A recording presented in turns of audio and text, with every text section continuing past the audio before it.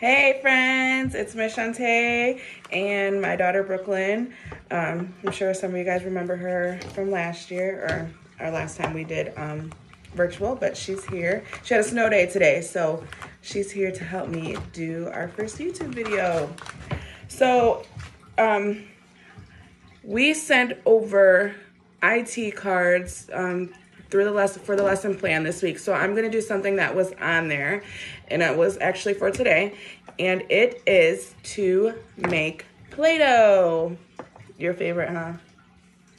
Okay, so you have to start by washing your hands. So make sure your hands are clean. Me and Brooklyn already washed our hands.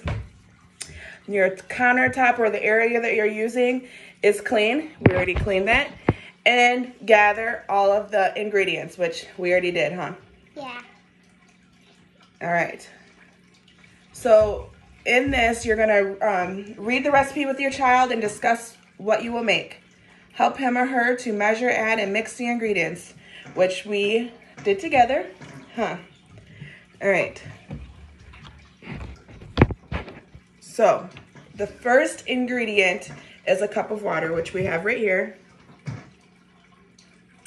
We have three cups of flour, which I already measured and I put inside our big mixing bowl.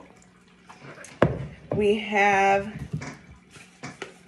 one and a half teaspoons of salt. I have to measure it still. We have a fourth cup of oil and food coloring, which is optional. So don't go out and get it if you don't have it. And Brooklyn picked blue. She wants to make blue Play-Doh today.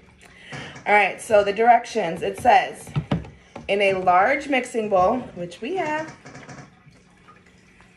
combine ingredients and mix with a spoon. I have to go grab a spoon. One minute. All right, back with a spoon. I thought I was ready, but not 100%.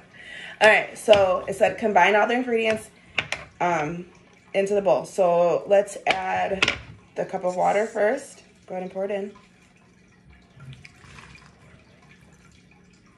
Now the flour's already in there, so let's add one and a half Of salt. teaspoons of salt. So we're gonna do, this is a half, so we're gonna put um, three scoops of this in.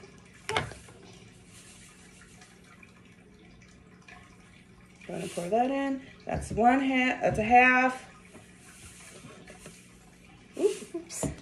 Now we're at one teaspoon. Now we need one more half. And we have one and a half teaspoons of salt. Now it says to add the fourth cup of oil, which we have right here. Go ahead and pour it in, Brooklyn. And the food coloring is last. Um, I would just start off with maybe four drops and then you can always add more if you want it more to have more color. So count it. Two, three, four. Put four. Okay. Now it says to stir it with the spoon. So stir it up. Stir it up.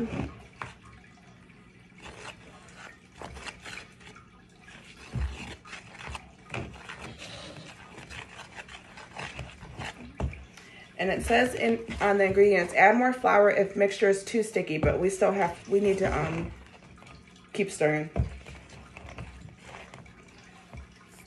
And we will be right back with the final result.